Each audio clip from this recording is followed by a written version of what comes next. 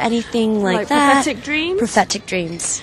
Um, well, I guess dreams, there's kind of like lots of ways of looking at it, aren't there? And I think people would think you could look at it as a wish fulfillment, like Freud. Mm. And then I guess maybe if you're religious, you would look to the Bible, and then you might think that Oh, they're kind of prophetic examples from the Bible. Okay. And um, you know, in Korea, there's also I'm, I'm pretty sure you're familiar with it. There's different types of dreams for a girl and a guy. Yeah. So that's exactly what your mom Yes, had. exactly, The, yeah. the apple tree is kind of more feminine, and then you know the exam is. Sexist. If you put it in that way, yes, that's true. And um, do you know of anyone who maybe had a baby recently? I do English friends, but none of them mentioned any particular Okay. gendered dreams. And uh, just uh, this is just a question that uh, you know I'm kind of curious in. Did Okay. uh, what do mothers to be do for like prenatal care? In the UK? Uh, mean? yeah, in the UK.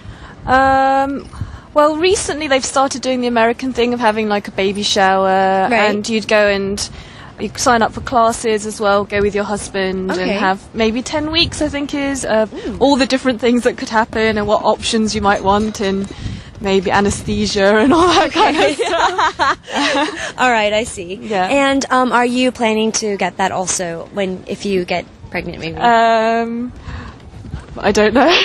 okay, well, hopefully you'll think about it and then make a decision then.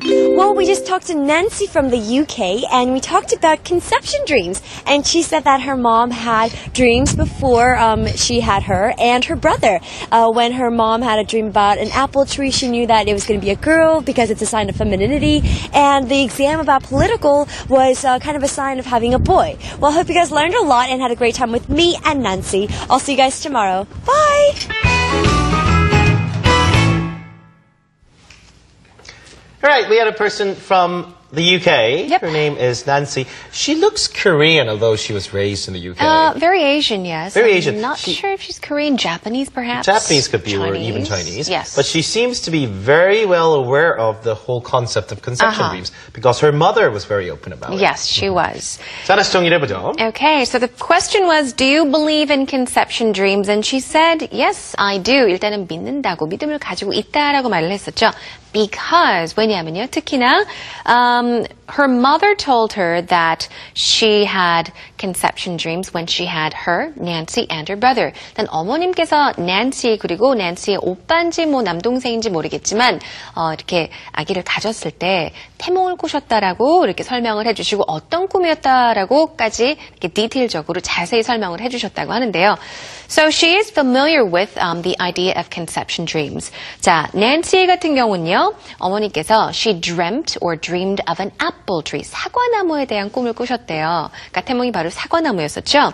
And of course, green apples, 초록색 사과였는데, 뭐 fruit, 아까도 말씀드렸듯이 뭐 fruits 하면은 과일 종류는 보통 뭐 아주 feminine, 여자를 뜻한다고 하더라고요. 제가 듣기에도요. So an apple tree or fruits are much more feminine. So boom, she kind of had the idea that she was, of course, pregnant with a baby girl. 그리고 남동생이나 뭐 오빠 같은 경우는요, 시험에 대해서 좀 어, 꿈을 꿨었는데, she had a dream where um, there, uh, her son had actually passed a government exam. 아, 자, 꿈 속에서 아들이 국가고시를 이렇게 패스를 한, 합격을 했, 합격을 한 그런 꿈을 꿨었다라고 설명을 했습니다.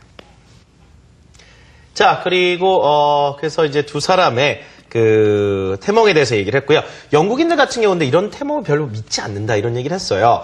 Uh, she asked sev- several of her friends whether they are aware of this type of conception dream, and uh, none of them had that kind of similar experience. 그 친구들 중에는 별로 이런 경험을 한 친구가 없다라고 얘기를 했죠. 자, 꿈에 대해서 이제 일반적으로 물어보니까 뭔가 좀 희망사항을 담고 있는 꿈들인 경우가 많고, 어, 그 다음에 약간 종교적인 어, 해석을 하는 사람들도 있다. 해몽을 그렇게 하는 사람들도 있다라고 얘기를 또 잠시 언급을 했었죠.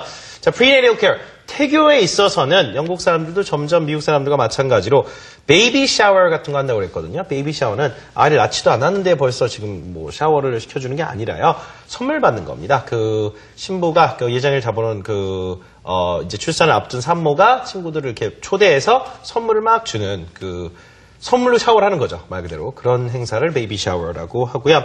어, 남편과 함께 그런, 어, 이제 수업을 이제 받는다는 얘기죠. 태교 수업 같은 걸 받는다거나 이제 출산을 준비하는 그런 수업을 같이 가서 받는 경우도 있다라고 얘기를 했습니다.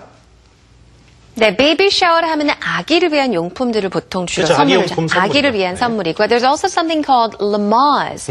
Lamaze 같은 경우는요, L-A-M-A-Z인데요. Lamaze 무통분만을 위한 그런 트레이닝 프로그램이라고 생각하시면 될것 같아요. Lamaze가요. 예.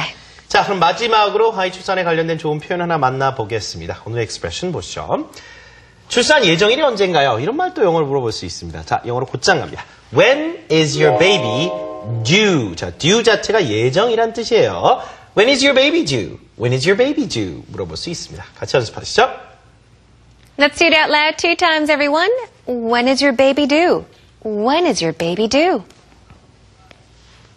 Do or do? Both ways. Either way, right? 아하. 자, 오늘도 벌써 인사드릴 시간이 다 됐네요. 함께 해주신 여러분 감사드리고요. 생활 영어는 저희 홈페이지에서 무료로 다시 보기 가능하니까요. 많은 이용 부탁드리겠습니다. Thank you so much for joining us today. We'll catch you again next time. Have a great day, everyone. Bye-bye. Bye bye.